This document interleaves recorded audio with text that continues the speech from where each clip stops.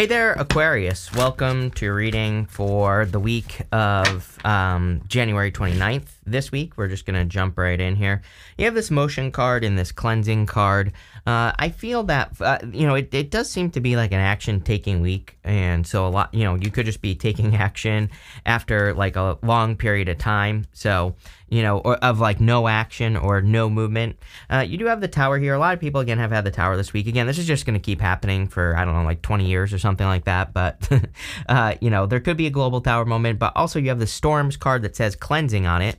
Uh, I do kind of look at the tower as a cleansing card in a certain way because the tower, you know, the whole point of the tower is that those people have been protecting themselves too much. They've been uh, ignoring reality, basically. They built the walls of the tower too high around them. And now the universe is uh, causing this tower moment to bring them back down to earth so that they can see reality, you know? And so a lot of you, it's like you could be getting a truth or seeing the truth. I'm pretty sure I said, in, like in the last reading I did for you, maybe for February, I think, um, you know, I'm pretty sure it was you that I said something about the truth. Like I titled your reading something about the truth or something like that. And, um, you know, it's it, you, there. There just could be some sort of truth that's being revealed to you, or like a truth that's coming out, and it's like not a good thing or a bad thing. It just you know, it's about seeing the truth, and you know, I think that it's just that simple. So, uh, yeah, it looks to me like you're ending around around uh, you know something that's been repeating in your life. So, um, you know, this kind of gives me the vibes of you maybe changing your story in your life, which you fixed signs for whatever reason. Um, you know, it seems to me like you fixed signs are really very much focused and fixed on changing your story in your life, which is, again, this is obviously a good thing, not a bad thing. So you could be improving or changing like the story that you tell yourself or the you know the words that you use on yourself and you know all that other stuff. And you know I think that you are kind of going through a little bit of a metamorphosis here. Again, that storms card says cleansing on it. So I would say that this tower is kind of like a cleansing tower or one where you could be removing certain things from your life, but again, it's probably for the better. Uh, you have the nine of cups. Uh, Nine of Cups, of course, can be a card of wish fulfillment or wishes, and so I feel for some of you, you've been hoping and wishing for something. You know, the Nine of Cups really is a card of bathing in the energy of something that you want. It is a card of, you know, matching energy of something you want. So I kind of feel that. Um, again, this could have to do with the story of your life, like, you know, you know, the story that you tell yourself, and you could be seeing or realizing, you know, what parts of your life don't match, what parts of your life do match, and, um, you know, you could be trying to uh, m- make sure that the words that you use or the things that you say about yourself, you know, all that other good stuff, it, you're like making sure that it actually matches up with the life you want to live or something. You have the Two of Pentacles here. It's like a decision was made, is what I feel like saying here. Um, you go this way, Knight of Wands to the Chariot. It's like you made a decision in the past to, um, you know, charge towards something or, you know, move towards something. I'm not, you know, and you know, there's something about a decision here or a choice that you made. I don't even know where this is going here, Aquarius. So let's clarify because I don't know why this is important. So, why is this uh, decision or choice that was made. Like, why is it important? Uh, you have the Two of Pentacles, you have the Three of Pentacles. I feel like this had to do a lot with like what people, you know, how people perceived you or see you or something like that is what I'm getting. You have the Three of Pentacles. Three of Pentacles is a card of quality work. Like, he has done a good job here.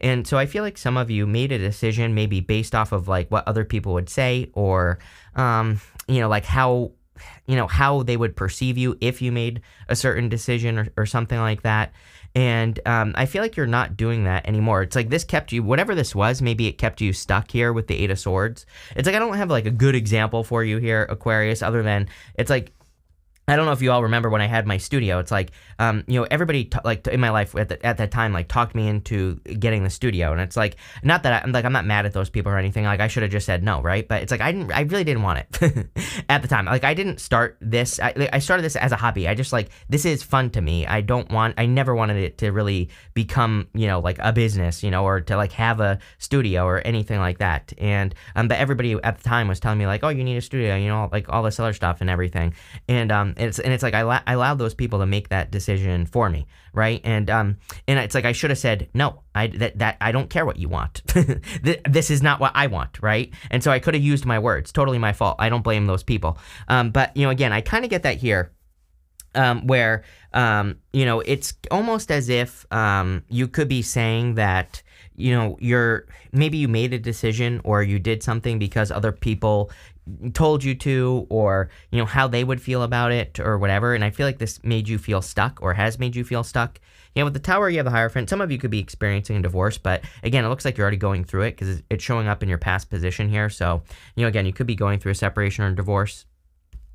With the Nine of Cups, you have the Emperor here. See, I feel like you're taking the lead on your life. I feel you have learned that you need to do things that you want to do you know, and it's kind of quite simple. You know, I think this is why we always talk about the truth with you as well, Aquarius, because it's like you're learning that like you have to do your truth, you have to live your truth, or um, you have to do the things that you know you actually want to do, not what other people expect of you, or you know, not other people's like expectations or other people's you know feelings about your life or whatever. And so I kind of feel like you're taking the lead in your life um, so far. So let's keep this going. Uh, you have the soulmates card and this come to the edge card. Some of you could be attracting a soulmate. You have the six of cups as well. Six of cups is my card of the soulmate, so definitely could be true love. And you have the two of cups, another card of a soulmate. So you know if you're looking for love, definitely could be love. Definitely could be a fire sign as well. You have a bunch of fire cards here, but could be any sign. Take it how it resonates. That come to the edge card is saying that you're gonna have to push yourself outside of a comfort zone uh, to get something you want the um, you know the come to the edge card really says that if you want something great in your life you have to push yourself to that point where you would normally give up and then you know go like one step farther to get what you want in life. So i kind of feel that energy here.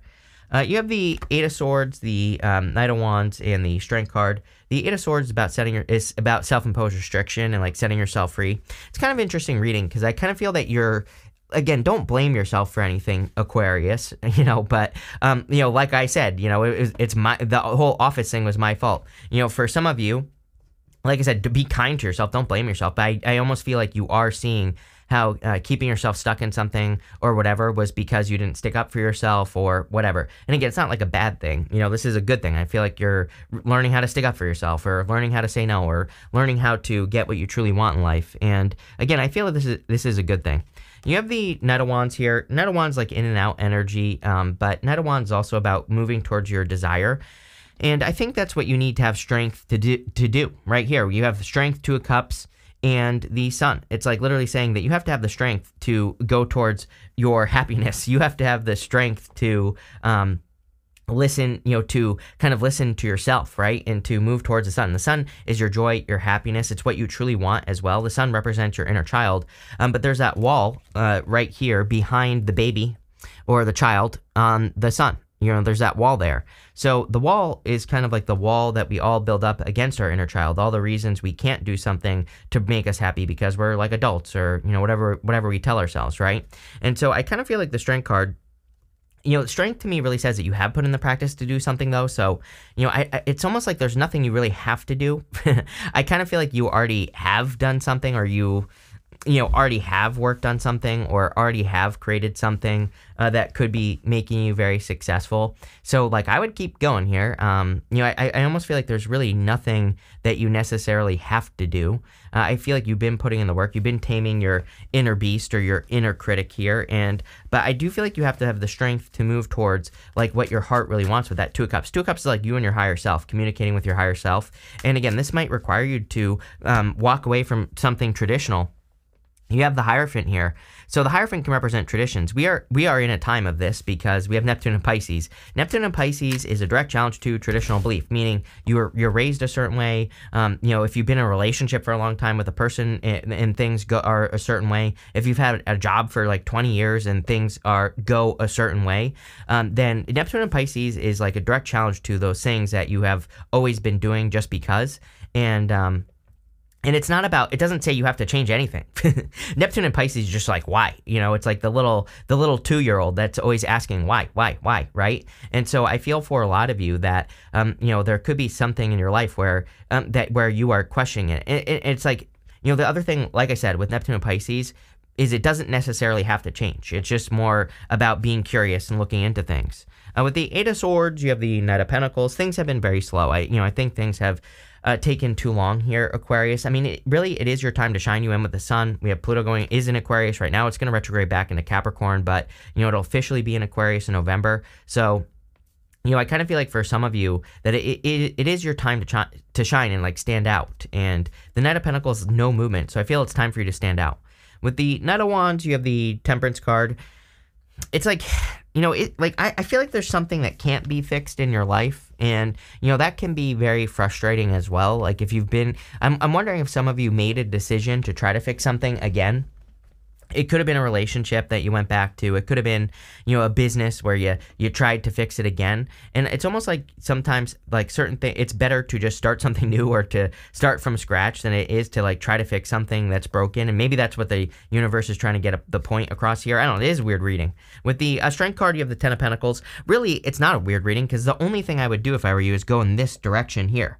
Like I, uh, this is what i would focus on is you know moving towards the sun moving towards happiness joy you know, the good things in your life, things that you actually want in your life. The Ten of Pentacles is building leaving a legacy. It is everything you want and desire in your life. So I feel for a lot of you, it's about kind of like moving towards the sun here, like I said.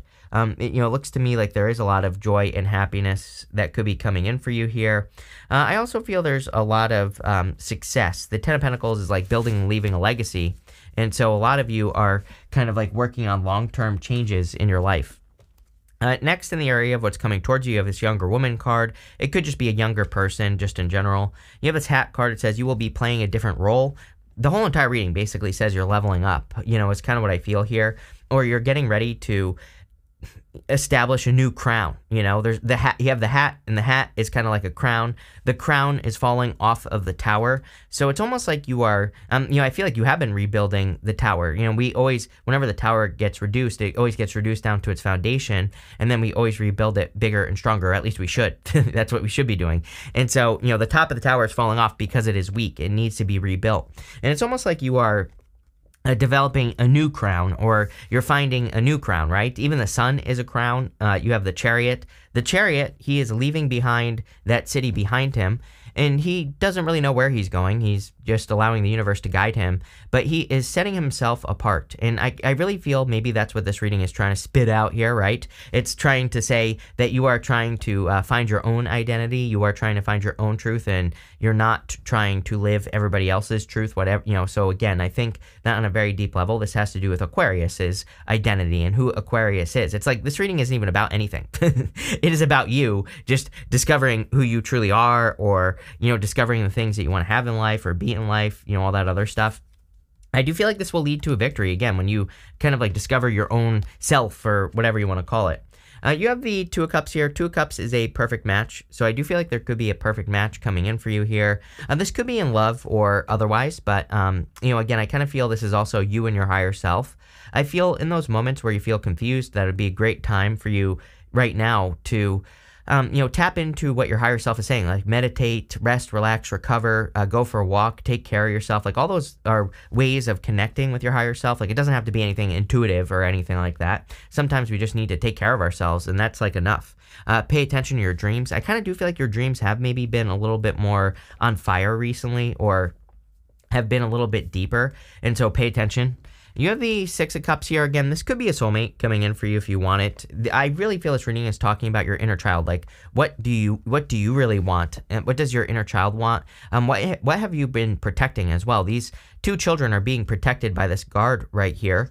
And so you have this, you have the sun, where the sun is your inner child, but you have the wall uh, behind the baby on the on the sun card.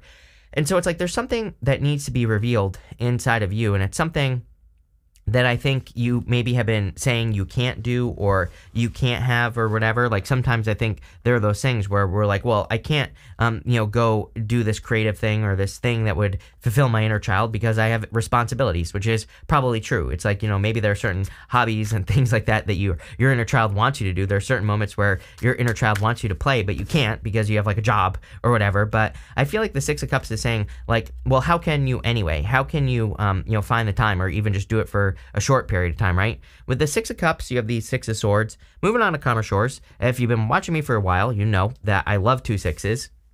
Uh, two sixes to me uh, kind of represents going in the right direction. I look at it as major confirmation for your path, right? You know, to me, two sixes basically says you're going the right direction, you're on the right path. So love it.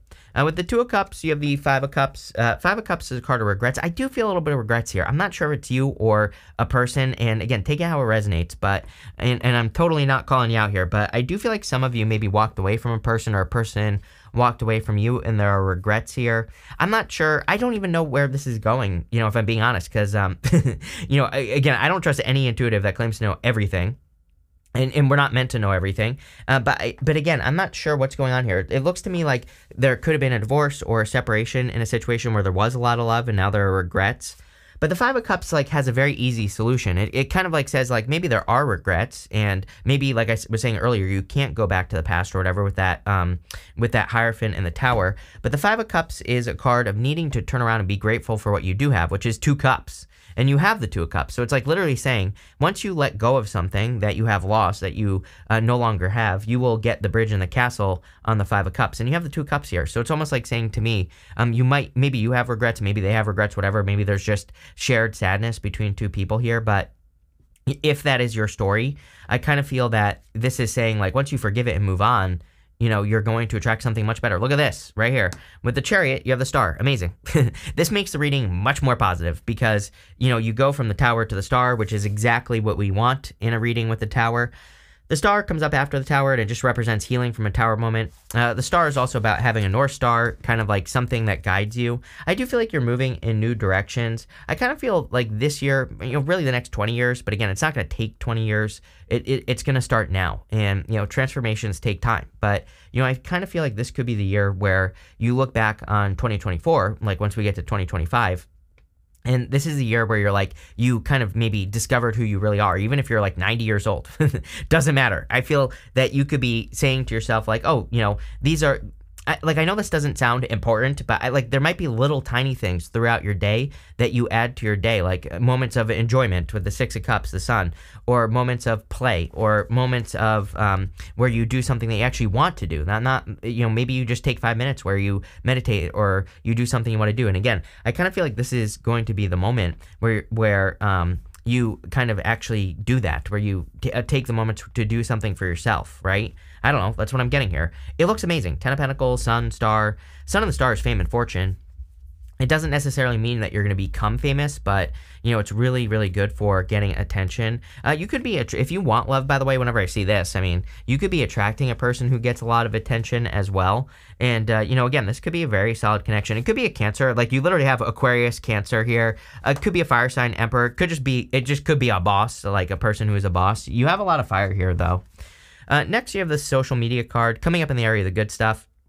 It says make money with social media. It will be very lucrative. There you go. Grow your social media presence and build your reputation for knowledge. There you go. So if you want to do that, great. Uh, you have this card that says it's okay to be different. Don't try to so hard to fit in. You know, like Aquarius people are like pretty freaking weird. Like I know a lot of Aquarius people. I'm an Aquarius rising. I have Mercury in Aquarius. Um, I was born on the cusp of uh, Pisces and Aquarius, so you know I'm I'm pretty close to Aquarius, and I'm pretty weird. So I totally get it, right? Um, but again, I feel this is saying like your weirdness, especially with Pluto going into Aquarius, your eccentricity is going to be the thing that makes you stand out. And clearly, Sun and the Star, you need to stand out. Literally, I think that I, I think that your your key to success over the, your next 20 years is to do something uh, that brings attention to something that's special inside of you or uh, for you to shine your light, right? Uh, or for you to, you know, be an, a living example, as I always say. I think that's probably the best thing that Aquarius can do. And to be a living example, you don't have to do anything really. You know, it could just be you, um, you know, it could be you having a family.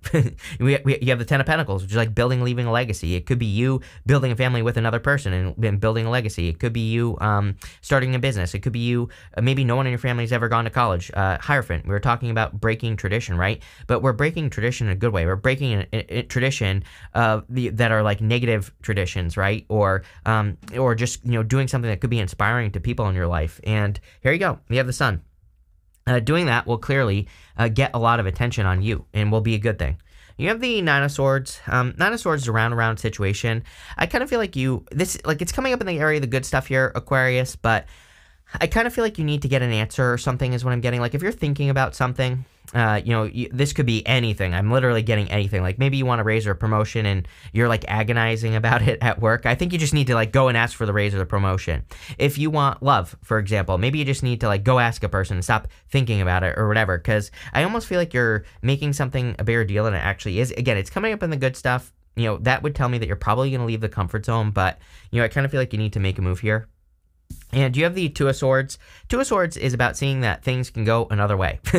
it's like maybe you think there's like the world's truth, uh, Aquarius's truth, and you think only those two things could be true, right? But really, the Two of Swords is about a third place solution. I always say it's my card of third place solutions. I believe we're in a time where we need to embrace third place solutions. But there's this new island behind her, and that new island is like something that she has never thought of. It's an opportunity or um, a way to do things in life that she has never thought of or imagined. And i kind of feel i feel that it's like saying you might be thinking there are only two options in life to do something but there might be many. Uh, with the sun you have the devil. Could be attracting a capricorn as well. It is coming up in the, uh, the good stuff. Also would tell me that you know the sun cleanses things and you have this cleansing card. So the sun is like a disinfectant. And so a lot of you could be removing like toxic situations or people or ha- bad habits or whatever from your life. And it could be creating a lot of improvements with the Nine of Swords, you have the Four of Pentacles. Four of Pentacles is a card of stability. I kind of feel like you're improving your financial situation. So, you know, again, your financial situation could just be improving here and you're making more money.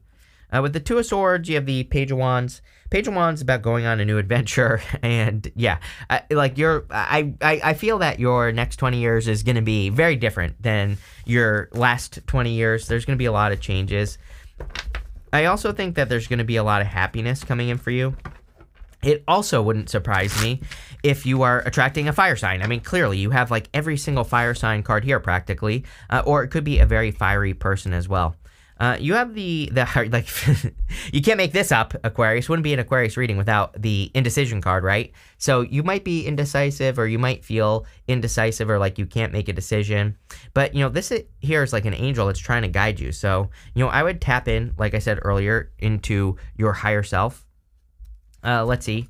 Uh, you have this isolation card. I feel like either someone's pulling you out of isolation or you are pulling a person out of isolation. So there could be love coming in for you here. And again, you could be removing, you could be like removing someone from isolation or pulling someone out of, you know, an isolating period or something.